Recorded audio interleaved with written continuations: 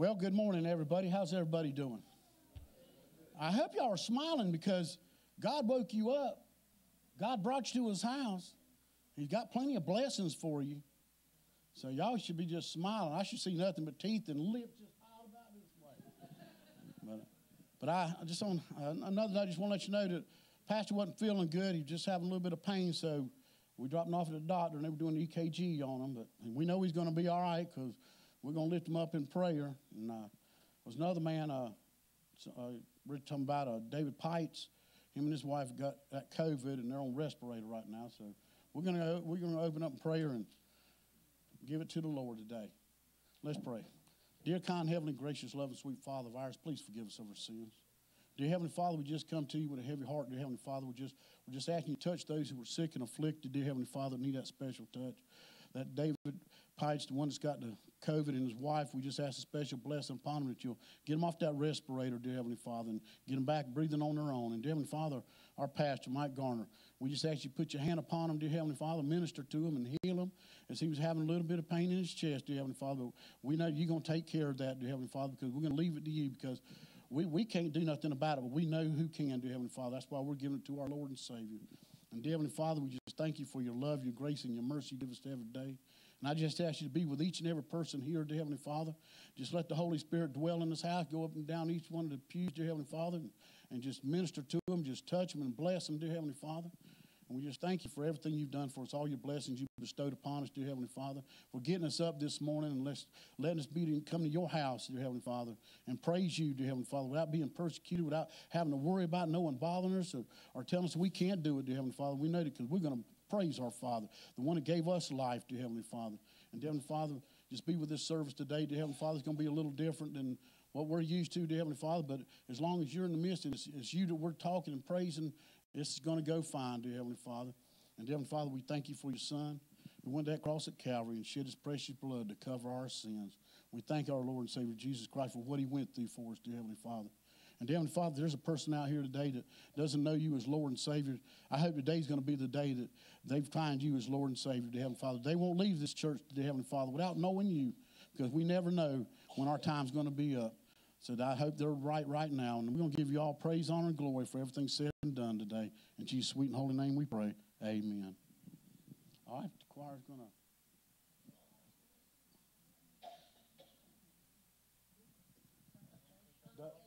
No, uh, we'll do the congregation first, or the, let the choir do their song. What- Let's all get in. Let- yeah, yeah, there you go. 53. I think everybody sing two today. There you go. right.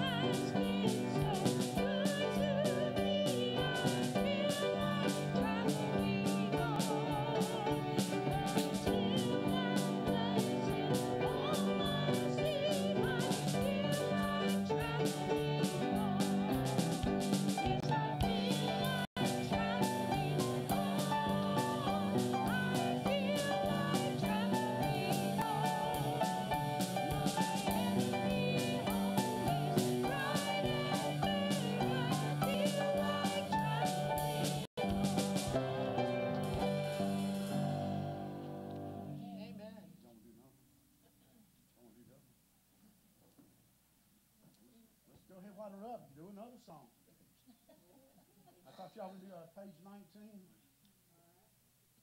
All right. Hey, make you keep getting up, but while you're up, just,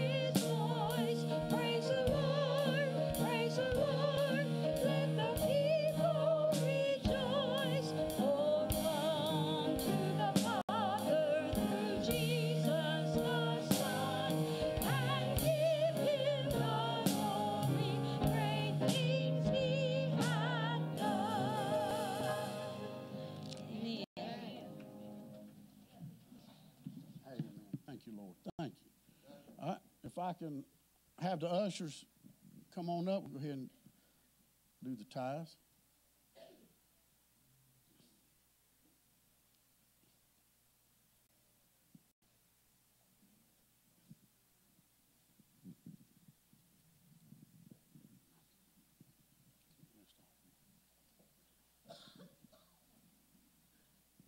Let us pray. Dear Heavenly Father, Lord, we just thank you for this day. We thank you for allowing us to be here. Lord, we just thank you for your spirit that we felt, Lord. We just ask you to be with our pastor as he's at the emergency room right now. Lord, we just ask that you lift him up, Lord, and that you touch him. And Lord, this morning, the offering it received, Lord, we just ask it to be used for the upbuilding of thy kingdom. But most of all, Lord, Lord, we just ask you to call somebody out today, Lord, to come out from among them, Lord, so that you can be Savior of their life, Lord. And we just we just thank you for all that you do for us. For in your name we pray. Amen.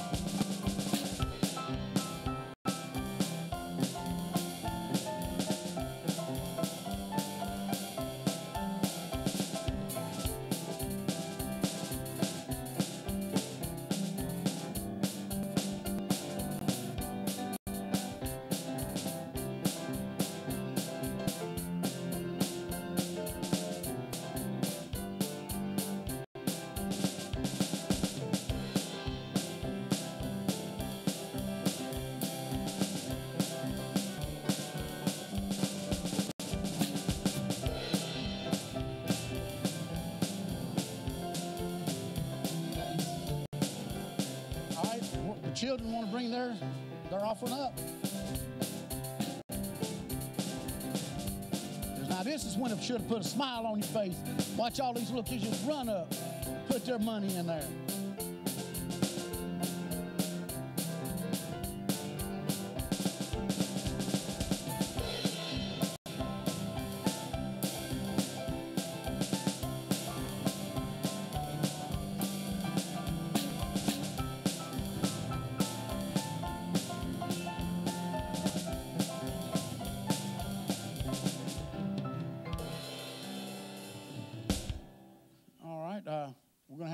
Church. If y'all want to go ahead and, oh, well, you want me to read the bulletin first before y'all go, so y'all hear what, it, or y'all kids can go ahead. I don't think y'all really care about the bulletin anyway. Huh? A lot of people don't anyway. well, just remember, uh, we got a business meeting August 18th at 7 p.m.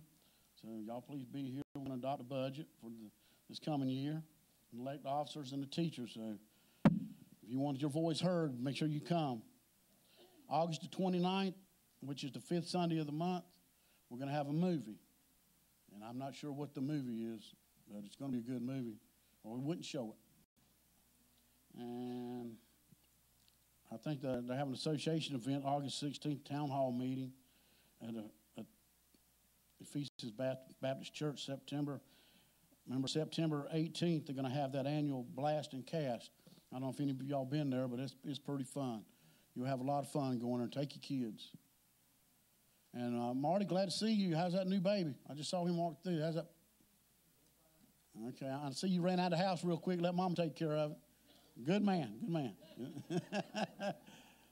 Well, look, this is something different, y'all, because uh, this is just short notice, and I, I really don't have a lot of words, but I I do want to give a testimony because, you know, anybody else, please stand up because this could be testimony day because to let people know what the Lord has done for you and what it might do for somebody else because He pulled me through a lot. You know, I did my drugs and alcohol in this world. I was, I was trying to be in this world, thought I'd be real cool and everything, but you're not. You think you're hurt, you're hurting nobody, but, but you are.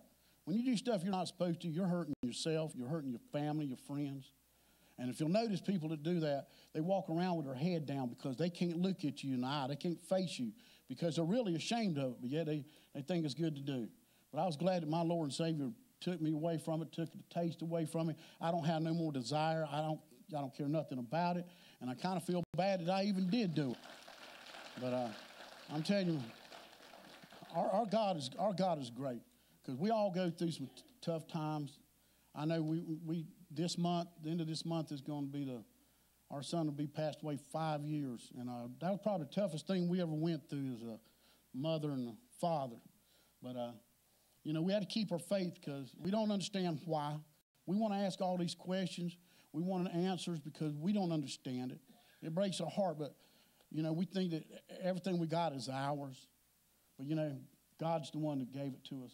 God give us everything we have, everything we've got. We're not going to take it with us. We're not going to carry it with us. He knew, he knew me before I was born. He knew the parents I was going to have. He knew the wife I was going to take. He even knew the children I was going to have, the friends. He knows everything. He knows. I think you know when I before I was really just blessed and saved. You know, I thought everything I had, I worked for it. I got it. It's mine. But it ain't. God's the one that gave me the skills. God's the one that gave me everything I've got and what to do. He's, he's led me through the way, and but I just didn't know it. So, I, you know, when I wasn't saved, I didn't know it. I was just following the path like everybody does with your friends and of the flesh. But I was glad that He took that away from me, and now I'm just giving everything up to Him. And uh, it still breaks our hearts. We still cry. We still have our moments, but we we can't lose that faith in God. Because I mean, you know, that's just we, we want to blame a lot of things, but you know, that's that's to me that's just the devil. When we start hurting and we start hating and we're discouraged, that's just a wedge that the devil puts in you to get you away from the Lord. You know, and uh, I used to think, you know, hey, you can always look over your shoulder and someone's got a little worse than you do. When something like that happens to you, you don't feel that way. You think you, you're, you're the worst that can happen. But, you know, the, the, the book that helped me a lot was, was the book of Job. Look what that man had. Look what he had. He had everything. And the devil took it all away from him. He lost his family, all his kids. He lost his livestock. He lost everything he owned. He was eat up with sores. His wife even said, Curse God and let him die. But look at faith that man had. If I could be just be half that way, I, I know I don't know if I could because that situation ain't never come to me. But to have the faith that Job did in his Lord and Savior, to not to give up, to keep on, to keep on, and for what he got back in return. Yeah, it was great. You'd still love to have what you lost, but man, that's a lot of faith. And I, I just wonder if we do, if we have a little bit of that faith ourselves. I know as Christians we go out and we tell people, yeah, I got faith, and you know, but do you really? You know, because you need to walk the walk and talk the talk if you're going to do it. You need to let people know that you do, and you need to act on it. Same way when you tell people, "Yeah, I'll help you," and you don't really mean it. You, you avoid them or something. You know, we're supposed to the same way with love. We're supposed to love one another, help each other out. And when I love you, we all, we use that word a lot loosely. We just come and say, "Hey, I love you," but do you really mean it? And, and people say, you know, there's different types of love. I didn't see it in the Bible. God just said He loved everybody, and we should love everybody the same way. You know, we shouldn't have a different love for one thing or another. Love should be great. You should love someone with your, your whole heart, not just a word just to be saying to quiet somebody up or get them to move on. You know, when we say that, we should mean it. And uh, I just, I just, I thank the Lord every day for my Lord and Savior for what He's pulled me through and what He's given me and my wife and my daughter because we nearly lost her too. And man, I'm telling you, you can get a lot of questions going, a lot of, Lord, why? Do you hate me? Did I do something wrong? What did I do to deserve this? Well, that, that's part of life. I don't know why. I, I can't explain it. I'll never. I'll always want to know why, but I don't know if I'll ever get an answer because I imagine when I get up to heaven, I'm just going to be happy and just, I know that if I see them, that I'm going to have eternity with them. Not this just short period of time that I had with them on earth, which is very short. We don't have very long here at all. But we know that when we get to heaven, we're going to have eternity. And I, I was asking the pastor today about, you know, and I, I think I talked to Buddy about it today, the other day. You know, when we get to heaven, and he says that we'll know them.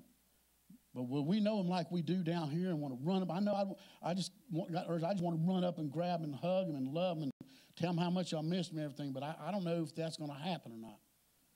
But I'm going to tell you, I'm just, just grateful for my Lord and Savior and for all y'all here and for your lifting up and your prayers. And, you know, I just hope y'all mean when you say something that, you know, make sure you mean it because it goes a long way. And uh, anybody else have a testimony they want to give? I'll give you the mic because, well, they, they want to, well, they want to register on the, be able to, but yes, ma'am, please. Uh, excuse me, I am a PK, if you know what a PK is, a preacher's kid. And my younger life in church, I was, my parents were very strict on me, very strict. I didn't go to dances, I didn't curl my hair, I didn't wear makeup, I didn't have a first date till I was 18. So when I left home with my little bag, the day after my 18th birthday, I decided I was going to see the world. Well, I saw it in the wrong way. Did a lot of things I shouldn't have done.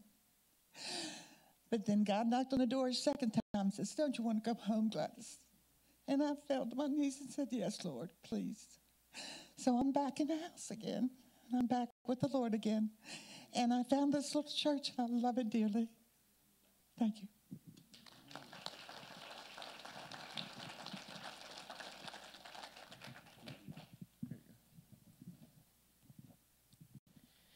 Good, good morning, everyone. Uh, I know you don't know me, but uh, my name is Paul Castillo. And um, actually, North Carolina is a, a special place in, in, my heart. Matter of fact, uh, my daughter Megan, I wanted to name her Carolina, uh, but everybody would think it was the um, basketball team or the college, so her middle name is Carolina. Uh, what does that have to do with anything? Uh, not a whole lot, but I'm, I'm getting there. Um, August the 1st was a very special day for me. Uh, number one, it was celebrating my 29th anniversary uh, to my beloved bride, Lenore. And the second thing, it, was um, my official retirement from the United States Air Force after 39 and a half years. Now, that's, that's, that's not the testimony part here. Um, the testimony is the fact that um, I did not know Jesus Christ as my Lord and Savior and on February the 15th, 1990, I, I finally got to the point where um, I was afraid of living because I had no idea what the future held. and I was afraid of dying because I had no idea where I was going. so I remember getting up, looking in the mirror, and uh, and realizing that uh, something was desperately wrong with me. And um, I went went to the base. Back then, I was a, I was a sergeant, and um, and said, "Hey, this this happened," and uh, I was just basically ignored because spiritual things are spiritually discerned, right? So when you're talking about your lostness and you don't even under, know that you're lost and you, under, you don't understand that the problem that, that's going on with you is sin and the influence of sin in your life and sin in the world, because that's the, the reality that we face. Oftentimes, what I see is people want to put one arm around Jesus and they want to put one arm around the world and they want the privileges and benefits of both. But the reality is that you have to let go of what you perceive as treasure and is really trash in order to embrace the Savior. So I got down on my knees and I said this I said, God, if there is a God, I'm not worthy to be here. I was in a chapel uh, at the base. I said, I'm not worthy to be here. But if you make this feeling go away, I will do anything, anything that you tell me. And I knew it was God that showed up because a crystal clear thought came into my mind. And this is what God said Love me and serve me unconditionally. Now, I want to repeat that to each and every one of you because the reality is sometimes we want what we want. We want what we want. And when God is not performing to our expectation, it is so easy. It is so easy. Like, I'm just going to be honest with you. I didn't want to come to church this morning. I just didn't feel like it. But you know what? My brother and I, we looked at each other and said, Our God is worthy. He is worthy of praise and adoration. And it's, it's, it's a shame that your pastor is, is at the hospital. I mean, that's a shame, but it's a reminder, right, that we're supposed to be looking to the Savior. We're supposed to be looking to the Savior. And if you, uh, when I'm up on, on the, on the, in the pulpit, because I retired as a military chaplain, I was ordained, uh, believe it or not. I grew up Roman Catholic, but I was ordained as a Southern Baptist minister. I may not look at it. I don't know what you think a Southern Baptist minister is supposed to look like, so stop judging. Okay? For all of you tall people, stop looking down. But what I'm trying to share with you and say this to, to you is that you are blessed and highly favored, whether you recognize it. And sometimes we can get into the routines of life, but I tell you, I've lived all over the world. I've done three tours in Afghanistan. But there, the Holy Spirit is with you wherever you go. And listen, even if I don't, eh, you know, my brother said, Are you ready to preach today? I said, You know what, if I have to, but here's what I'll share with each and every one of you. Because the story's a long one. It really is. And it, it's a it's one that, that God receives and deserves all the honor and all the glory and all the praise. Because you know, when he saved me gloriously, then I witnessed to my brother and he got saved. And I want to ask you before I forget, because this is the most important thing. The reason that I came here is um, I want you to pray for my father. His name is Ray. Okay? Uh, pray for Ray. Uh, because I want to share the gospel with him. And I've tried many, many, many, many times. But I'm not his pastor, I'm not his priest, I'm his son. But I'm going to tell you this I led his mother, my grandmother, to the Lord on her deathbed. I remember just say, simply saying to her, Grandma, do you know where you're going to go when you die? And she says, No, no, son, I don't. And I said, May I tell you what the Bible says? And so I took her through the Romans road and I said, You know, all have sinned and fall short of the glory of God. And she says, Yes, all have sinned. And then I went on and read, and I said, you know, uh, it's not by it's by grace that we're saved, not by works, so that no one go. She goes, we're saved by grace.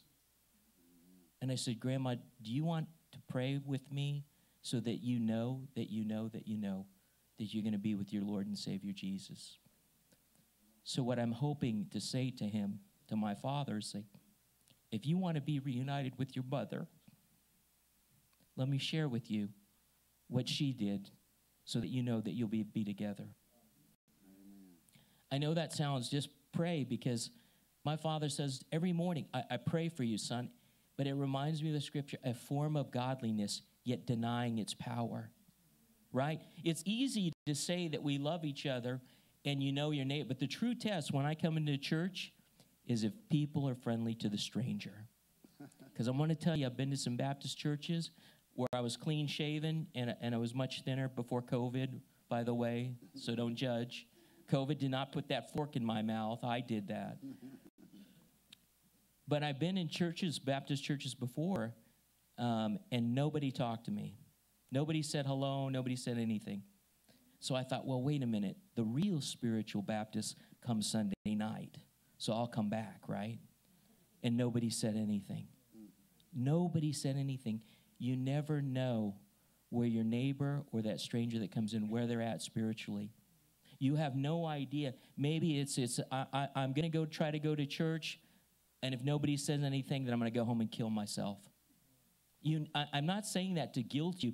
I'm telling you that there are people out, out there like that, and I've heard their testimony where they said, I'm going to go, and if nobody says anything to me. And fortunately, that saint stepped up and said, How are you doing today? And really meant it. And turned around and saved their lives. Well, now I, I still in ministry you don't you don't retire, right? It's just whether you get paid or not. So my current ministry is with the Veterans Administration. And so please pray for that. Uh, I'm, I'm, I live in Wichita, Kansas. Not everybody can live in the Holy Land. You know. This is actually, it's wonderful because people still let you talk about Jesus and they don't seem to get bent out of shape. So I just want to say thank you for this opportunity today. And if you don't know what to do, if you're looking for the checklist, if you're looking for the roadmap, I always remember, no matter what's going on Micah 6 8, he has shown thee, O man, what is good and what the Lord requires of thee, but to act justly and to love mercy and to walk humbly with thy God. So thank you and God bless you. Thank you so much.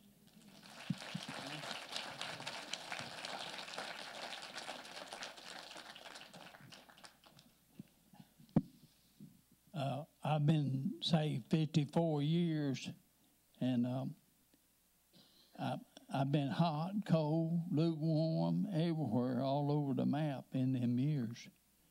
And uh, I don't know how many people can relate to that. But um, when I got saved, the Lord did something. He uh, He showed me that I He reimbursed what what happened when I got saved. I got saved on a Thursday night. I got up Sunday morning and said, I want to go to church. I was 28 years old, had never been in church in my life, uh, other than just hitting a miss and following a little old gal around, you know. But uh, uh, but I wanted to go to church. I didn't. That was something. That, re, that was something to me. He, he revealed to me, "You're different. You changed." You know, and uh, 'cause I hated preachers. I hated them long-winded preachers. Thought they'd never shut up. You know, and and from that day on, I have loved preaching. I love the Word of God. I love Sunday school teachers that teach the Word of God. And I don't understand Christians that don't love to, to hear the Word of God taught. I don't understand that at all. But I've been consistent in my church going through a divorce, bad times, good times, everything else. I've been consistent in church on Sunday morning, Sunday night, and Wednesday night, all 54, 52, 54 years. Something. Okay? And I don't understand people that don't want to hear the Word of God taught and preached. And they say, oh, yeah, I'm saved, but I don't want to hear no preaching. Don't want to hear no teaching. I don't understand that. I don't understand that at all. Uh, another thing he did to me, he confirmed what what something that I was different. I had a filthy mouth, and I had a outstanding. I never seen anybody had the memory that I had. I had a super duper memory. I could tell filthy jokes all day long and not repeat one. And he took all that away. And and then it was about I prayed about it. I said, Lord, You know, I got a, a good super memory and I got a filthy mouth, and you need to clean it up. And uh, I can't do it by myself. You're going to have to clean this filthy mouth up.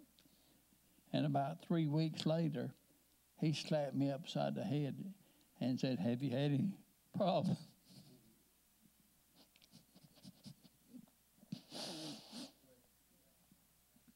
Will you filthy mouth? no. He took it. Instantly took that. I'm not telling you you got a bad problem and he's going to instantly take it away. You might have to work on it a long time. But he took that filthy mouth. He can't use a Christian with a filthy mouth. I don't believe he can. And he took that thing instantly away from me. And uh, but I'm thinking about the, the song they playing a lot right now is "He didn't leave me leave me where He found me." They're playing it all over the radios right now. Beautiful song. Thank God He didn't leave me where He found me.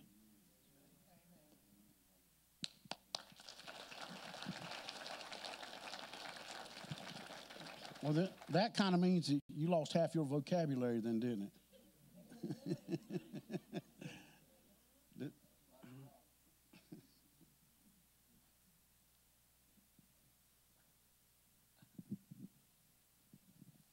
Good morning, everybody. Um, I want to thank the Lord for my salvation. Um, my faith is probably the strongest it's ever been in my entire life, and He has seen me through so much. I just hit my third year cancer free, and I. And I give him total thanks for his healing.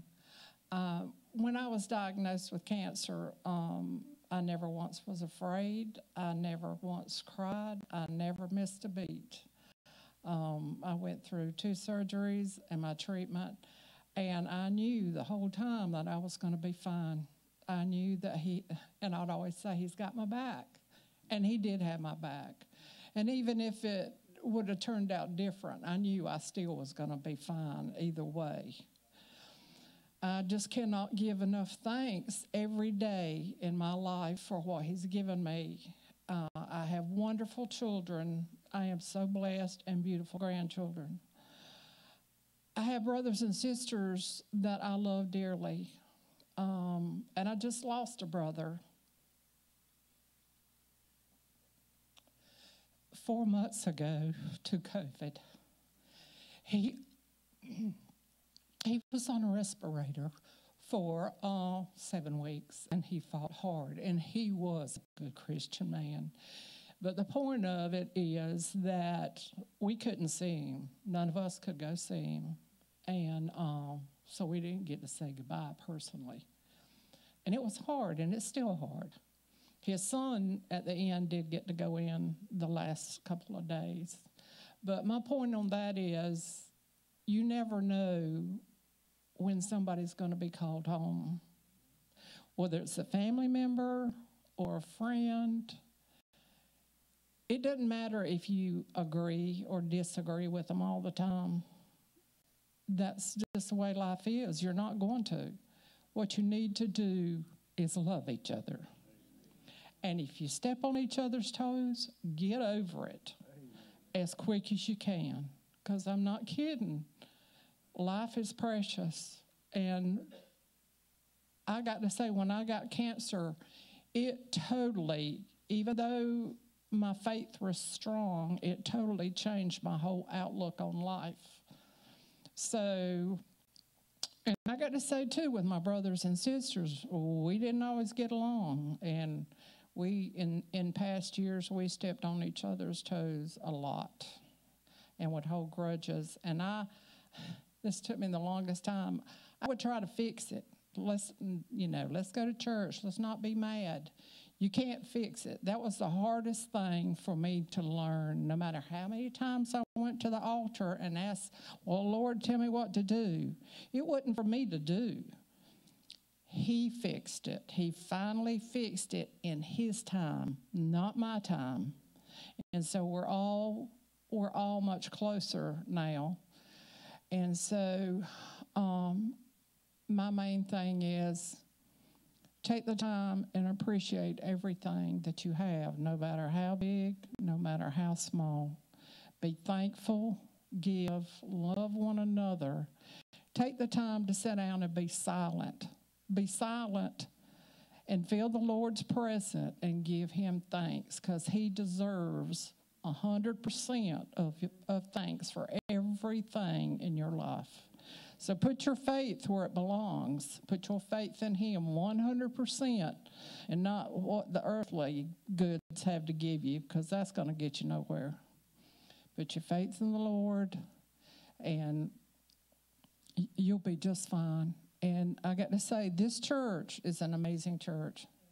It's an amazing church with wonderful people. And we have a wonderful pastor now that is just so loving and so giving. And we all need to support him 100% as well as each other. So um, give thanks and be grateful for the man above.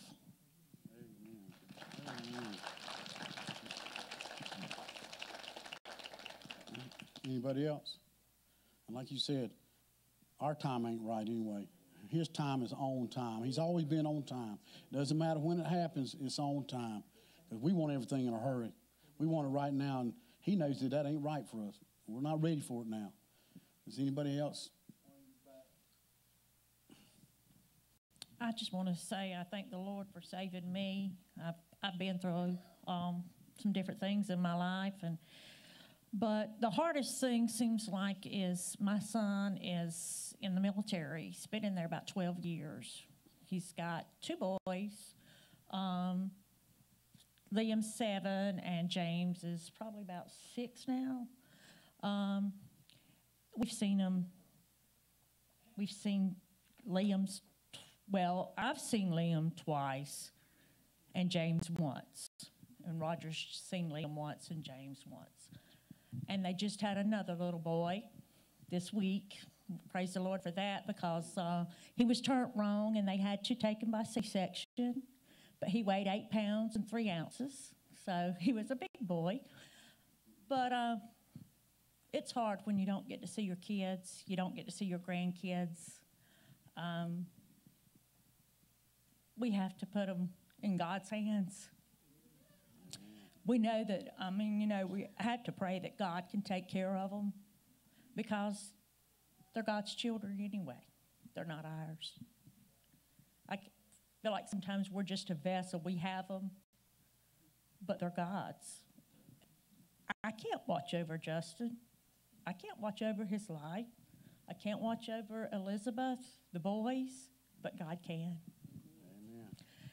And I just pray that one day He'll bring them back where we can see them. Because, you know, you think about God and He's got all of us to watch over. How does He do it? You know? He's an amazing person. Amen. And I just want to thank Him. I want to thank Him for my job. I know I tell Roger all the time, gosh, do I got to go to work again? You know, I'm just cleaner. That's what I say. But you know, on my job, I go in at five o'clock in the morning. Most people don't come in till eight.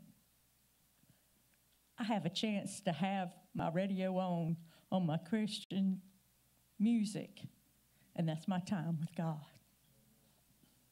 So I just want to thank Him because I don't thank Him enough for that time and my family and my life that He's gave to me. Amen.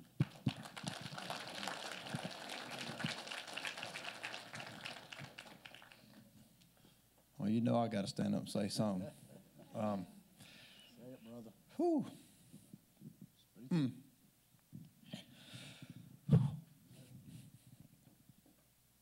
God is good. He's so good to me. I don't deserve it. You all know I don't. I've lived a terrible life for a lot of years. A lot of years.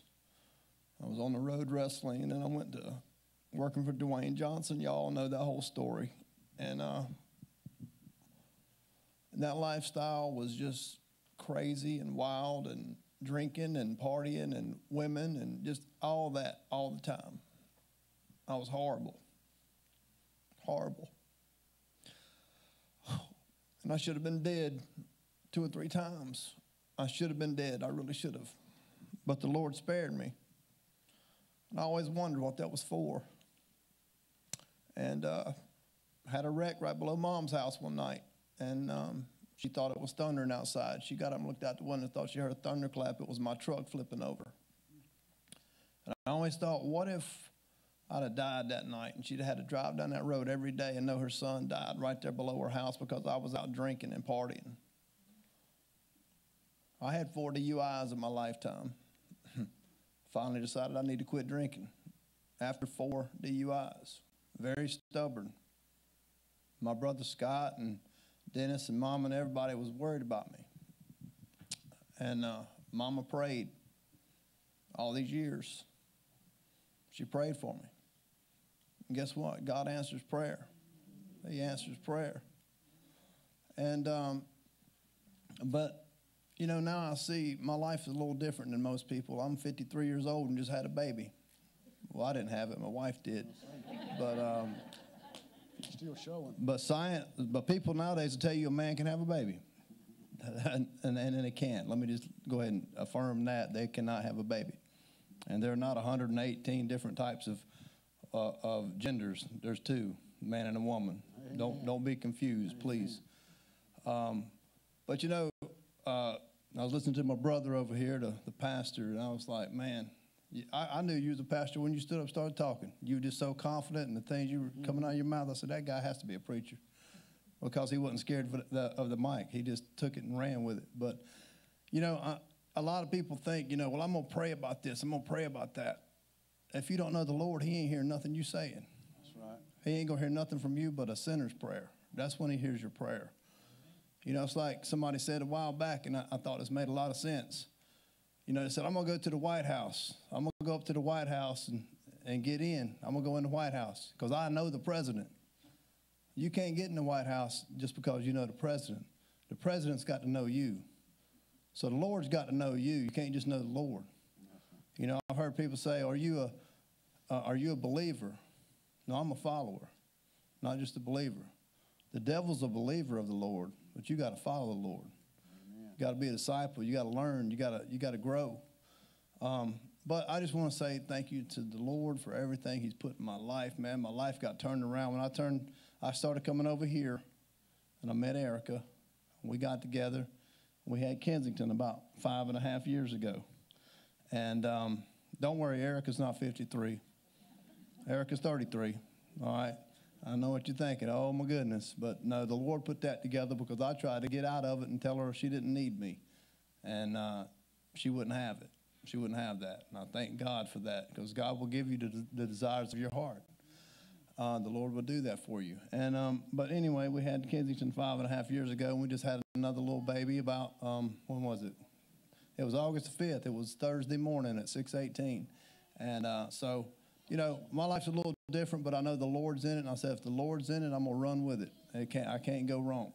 And uh, so y'all just pray for us as we're on this journey. And we thank everybody for all your cards and all your support and all the little baby shower gifts. Thank you so much. And uh, we love all of y'all. And we're just gonna move forward with this church. And our church is, I think it's on fire right now. We're just gonna keep getting stronger. I want people all over this nation to start seeing the smoke coming from Carthage, North Carolina, and it's us.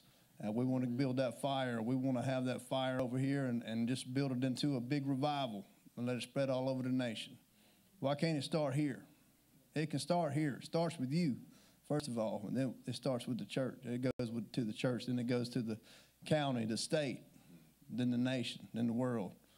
Let's spread Jesus' love all over this world because that's what it's all about anyway. I love y'all. Thank you. Amen. All right.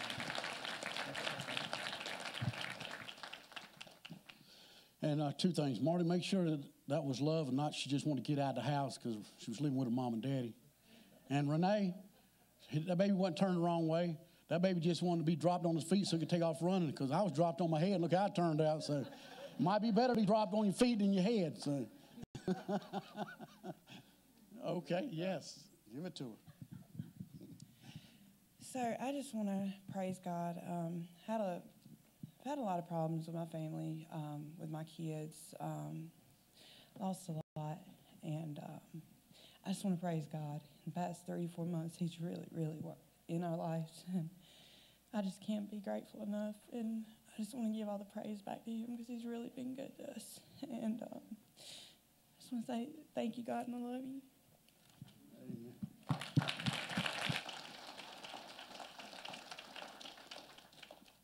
Anybody else? All right.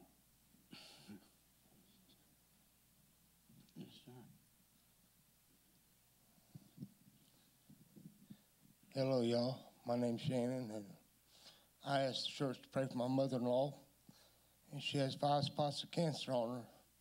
My father was coming to see me, and he called me and he told me, he said, son, I'm not going to be able to make it. I said, Dad, you're where you need to be. And he told me what his wife was going through, and uh, they took her to the clinic, and she got five spots of cancer on her. And I said, Well, you stay where you're at, and we'll be fine. Well, I come to church, and I asked y'all to pray for me, and my mother in law is doing well. All of her spots are 90% healed, and I'd like to give a praise report, and I thank you and thank you to the, the whole church. Amen, brother. Love you. I just want to stand and thank God since Mike passed away. He's my everything. He's never left me. He's never forsaken me. He's gave me that peace that passes all understanding. He's always there. Like Bubba says, there's a lot of things we don't understand. But I just want to praise and thank him for his mercy, his grace, his love, his keeping power. And for my children and my grandchildren, they are all real good to me. And I just thank God and I love him. He's my everything. And I give him all the glory. For it's in his name I, I thank him in the mighty name of Jesus. He's an awesome God. Yes. Amen. Amen. Real quick, um, before, just got an update from uh, Preacher Mike. Um, and uh, he said, just an update, run more tests, but so far, heart looking good. Going to check a few more things. His blood pressure was elevated this morning, which can be understandable. Uh, he said, keep the prayers going, that all is good, just still hurting a little bit in his chest and back.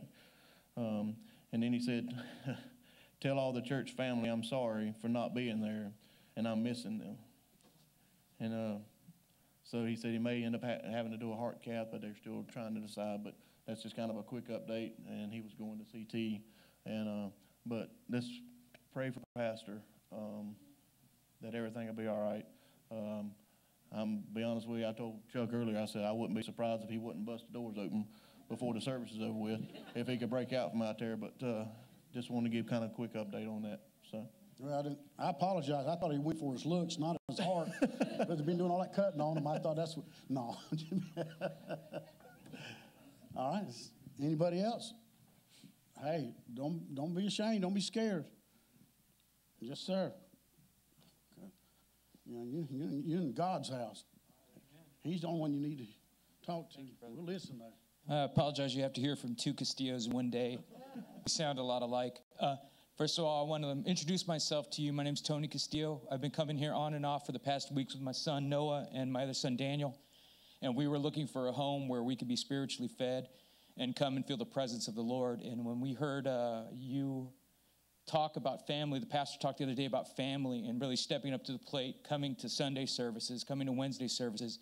I'm like, this is this is a good place to be. You know, uh, if I could just share a little bit with you. Um, the words stand firm, it's in the Bible. It was also a term that the British used during World War II. Stand firm. You stand firm in Christ, you will find that He is true. Uh, my family and I have been going through, well, we went through a real difficult period. I was living in England, I was working at the embassy in London, had my dream job. Cocktail parties, you know, all of the mingling, working with you know, dignitaries, heads of state, that kind of thing. It was really what I really wanted to do. And then uh, I got uh, I got punched in the chest. Uh, to make a, not to get into too many details, I found out my wife had no longer a use for me. And uh, the thing is, I never blamed God. And, and I'm not saying I'm perfect. I'm not saying I'm great. I just knew the Lord has a purpose for everything. So I tried. I did what the Lord says you should do. I tried to reconcile the marriage. I'd bring her roses home when I come home from the embassy. I'd bring her roses. I'd write scripture and leave it on the coffee table. And I'd tell her to her face, I said, I begged her, I grabbed her hands and I said, please stop hurting me, please. And I would cry in front of her and she'd just look at me like, God, get away from me. Why, you know, this is embarrassing. Why are you crying? And I realized, and finally I got her to admit it. I met her uh, at church, Baptist church. I got her to admit, I didn't, not coercion, but she said, I never really bought into the scripture. I never really bought into what was being said. And uh, that made it easier for me to understand why she was hurting me this way. Because we got married in the church. We got married, uh, we were both, both believers, so I thought, but also that God is good. If God puts you through trials and tribulations, it's to bring you closer to Him. When you fall away, it, did you really believe? You know what I mean? He says we must stand trials but he brings us closer and he brings us to a better place at the end, like my brother said here. You know what I mean?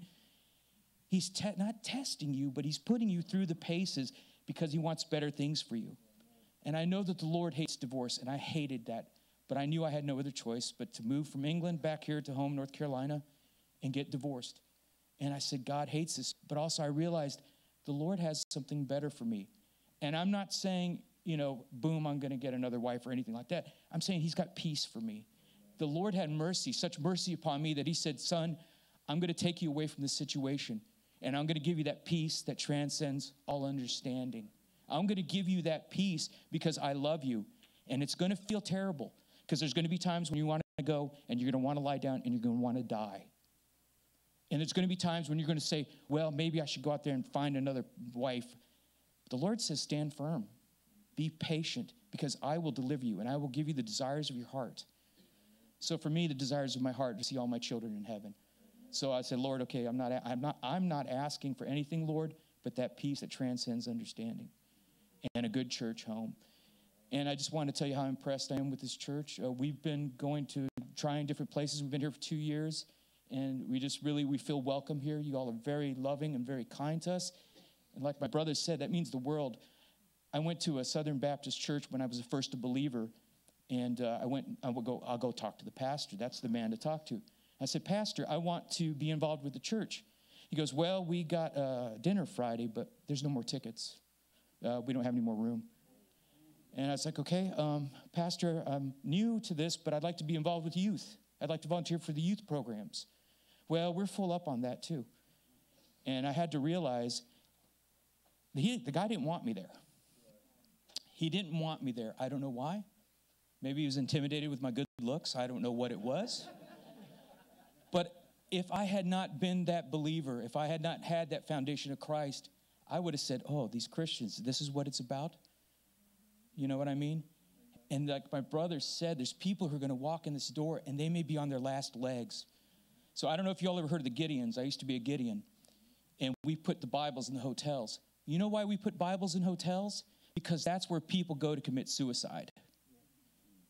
And we get testimonies from people who found that one Bible and opened it up there on their last leg and they heard the word of God. So it's very important, like I said, to be nice to people, okay?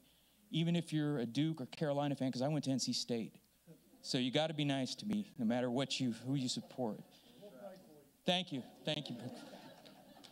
But I just want to thank you all and say how loving and kind you are and it's good to be in a southern church, a country church. I really, all the places I've been, this is home, you know. I may not have the accent, but I, I, am, I am southern through and through, and there's no doubt about that. So thank you all, and I look forward to getting to know you all, and I, get, I look forward to being part of the family. So thank you so much for your hospitality.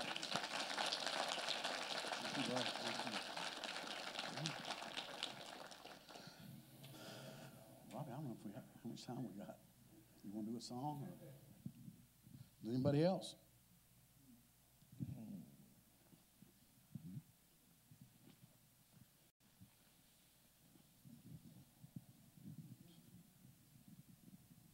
Thank you.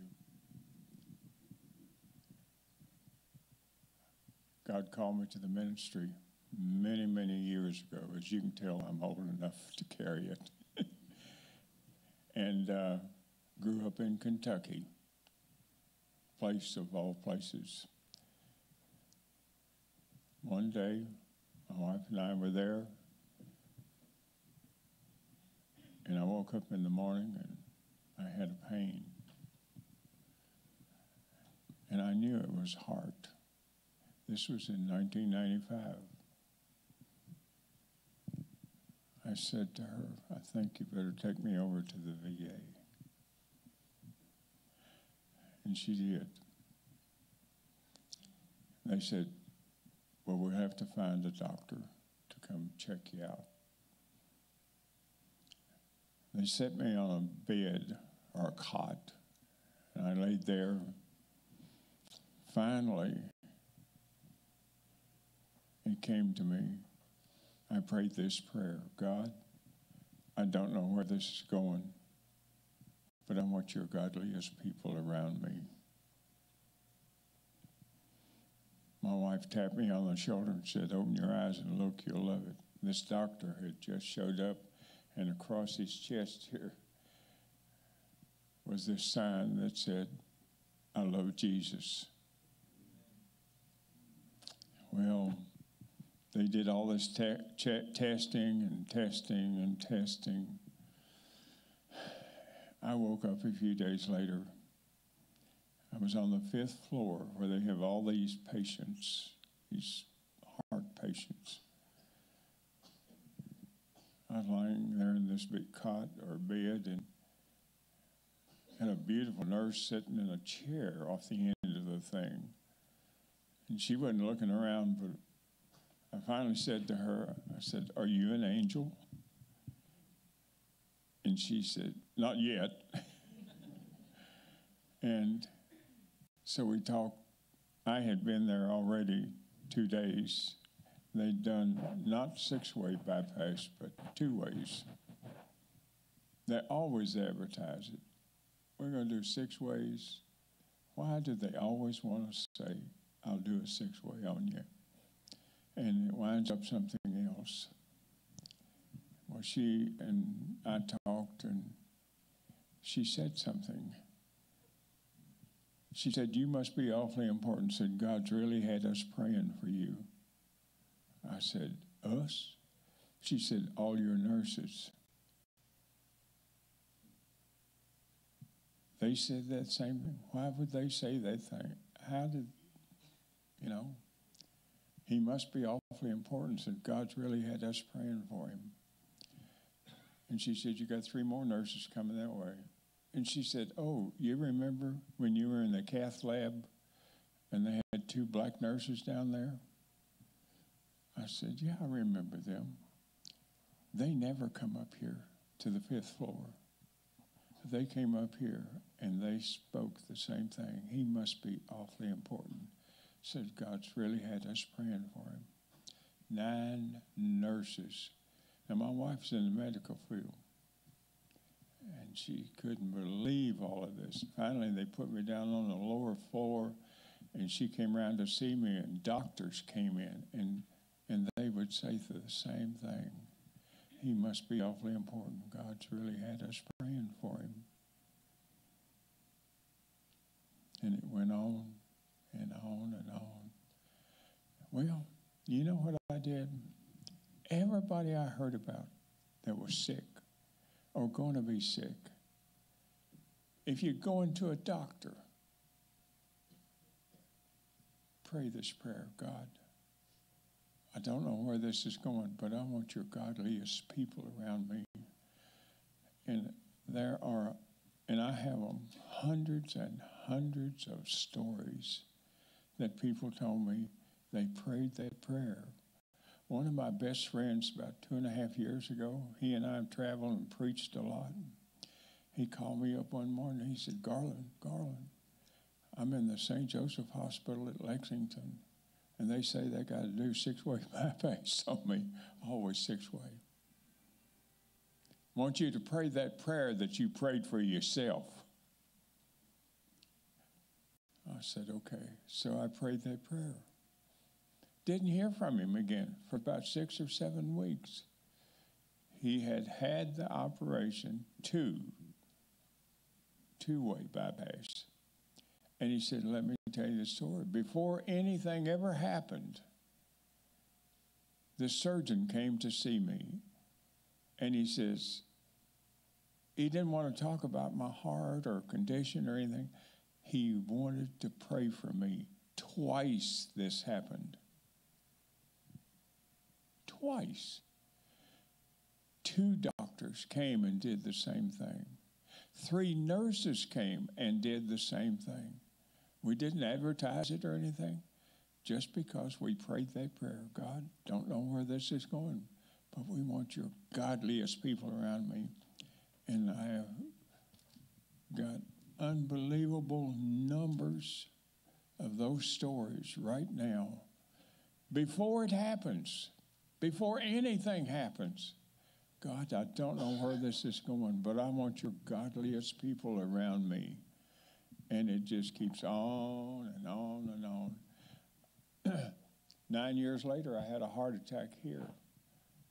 Had to go down to the hospital. And I prayed that prayer. And I left a message with the nurse the night before when I went into the hospital. Uh, I would like to see the surgeon. And he comes in and he says, uh, I got a note here to come see you. And uh, I said, he said, how can I help? I said, we need to pray. He said, you want me to pray? I said, can you pray? I didn't know anything about him. And I'm going to tell you what, he prayed, and it was obvious that he knew how to pray. When he finished, he said, I'll see you in the morning, I guess. I said, Well, we got to pray first about something. He said, What? I said, I got to pray about you. He said, Pray about me? There's nothing wrong with me.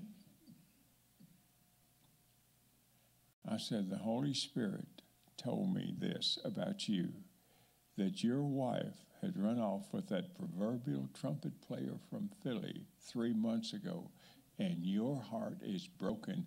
It is worse in worse shape than mine. And he wept and he wept and he wept. We went again. Had two way bypass. I was over that and started back traveling again for the Lord. But I didn't I didn't last long. You wonder, what is God going to do? Here, my Lord, send me. That's what Isaiah prayed one time. What am I going to do? God's just waiting on your voluntary work. Here I, Lord. Send me. And I have many healing testimonies, personal. And I just want you to remember that. That God's waiting on you. Don't fall down to say, God, here am I.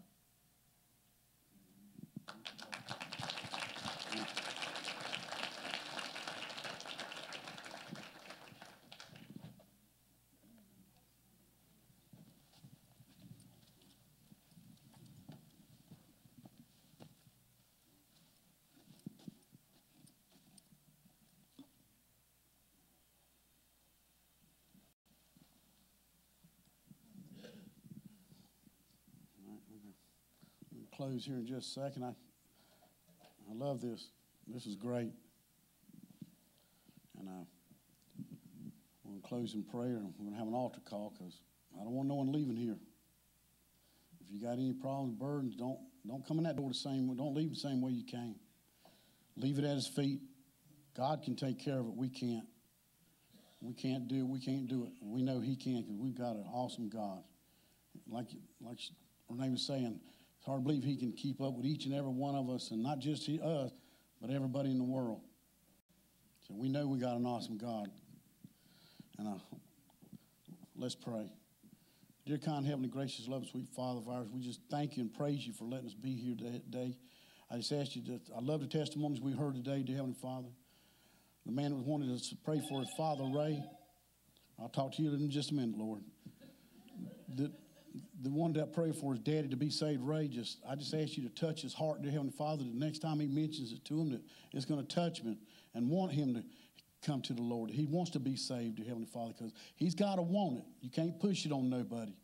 And dear Heavenly Father, I just ask you to touch Renee's son, dear Heavenly Father, that maybe he'll get transferred to North Carolina, dear Heavenly Father. He'll be spending so much time with her, she'll say, hey, ain't you got to get somewhere else? How about Virginia or just touch that family, dear Heavenly Father, and be with our pastor, dear Heavenly Father. We just ask you just to bless them, put your hand upon them, dear Heavenly Father. I know you're going to heal them, dear Heavenly Father, because you already got them in your care. And each and every person here, dear Heavenly Father, is going through something. I just ask you to touch them, bless them, heal them in a mighty way.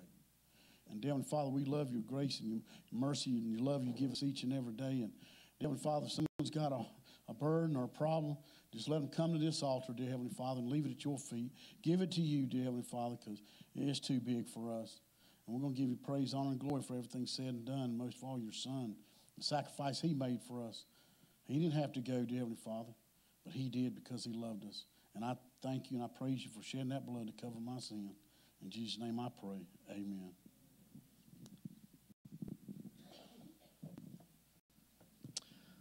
You know, um, he wants us to do an altar call song, but I want us to stand up and just give God praise this morning before we do that. We got a lot to praise Him for this morning. We got good news from the pastor about the pastor this morning. I believe he's going to be in good shape, don't you? So uh, let's do that song. He set me free. Amen. Has He set you free? Man, that was weak. Has He set you free? All right, here we go.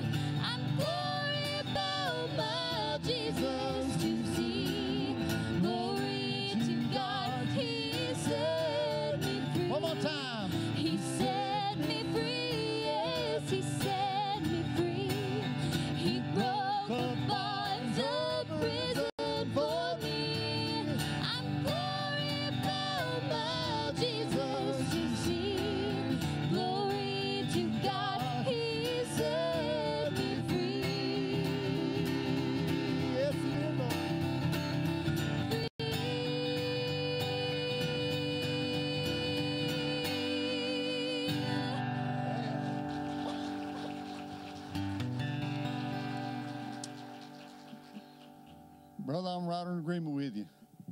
But he took away 95% of my vocabulary. I used to play at juke joints before I was 19 years old. Yeah, But when it comes in your heart, He changes your song.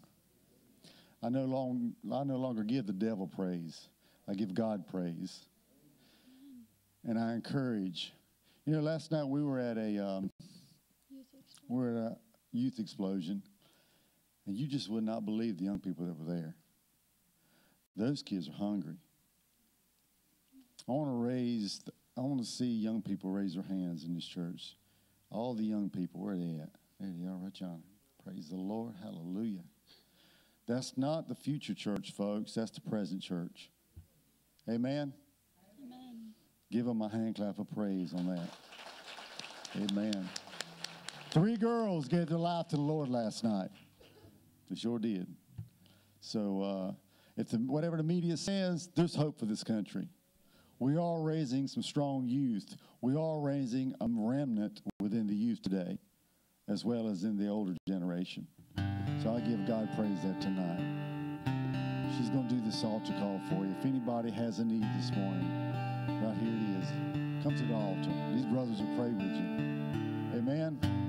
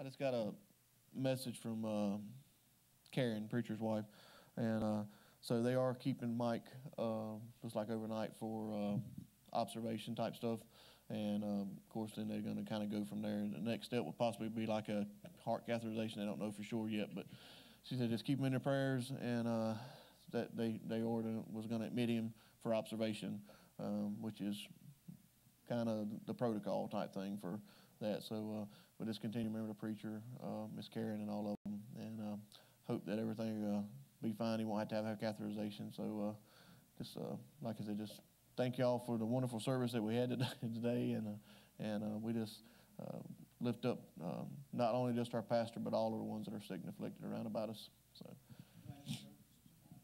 Um, as far as I know, yes, services tonight. Um, I would say, um, I think for the youth tonight, that if, if um, I don't think Robbie's going to be here tonight, and I was supposed to take the youth tonight, uh, but I have another engagement that I have to be at tonight for my Uncle Don. I know y'all, y'all heard me talk about our, my Uncle Don and stuff.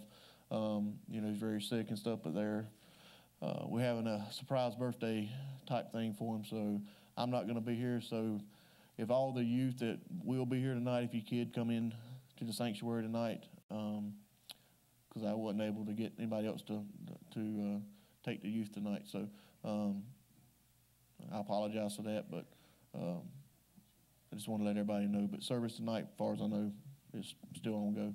So. All hearts and mind clear. I hope everybody got a blessing today. I mean, it's a little different than normal, but it wasn't different to the Lord because He wants to hear from something from each and every one of us anyway. And uh, all right, Marty, if you don't mind closing. Dear kind and gracious Heavenly Father, Lord of Lord and King of Kings, Father, we just thank you so much for, for this day, Lord. This, this beautiful day you've given us, Father. We just ask you, Lord, uh, if you would, to touch Mike, Father, and uh, help him, Lord, just to get through this thing, Lord, and uh, he has faith, Lord. I know he has faith, Lord. You're going to touch him. You're going to heal him, Lord. He's going to come out of this thing uh, smelling like a rose, Father. And I just ask you, Lord, that we all give you our troubles, Lord, and our burdens, and just lay them at the altar and, and let you handle these things, Lord. You said you'd fight our battles for us. We don't have to fight our battles. And Father, we just we love you and we thank you, Lord, for this good crowd here today and all these awesome testimonies we had and the beautiful music. And uh, Father, just let us know, just let everybody here know, Lord, this is a family. We're not just people here. We're, we're a family, Lord, and we're, we're going to be with, with each other forever. So uh, we might as well start liking each other while we're here. Mm-hmm. And uh, Lord, I love you and I thank you for everything you've done for me. And uh, I just ask you to bring us all back here tonight, Lord. And, uh, and uh, thank you for uh, all that you do. All these things we ask in your holy and precious name. Amen.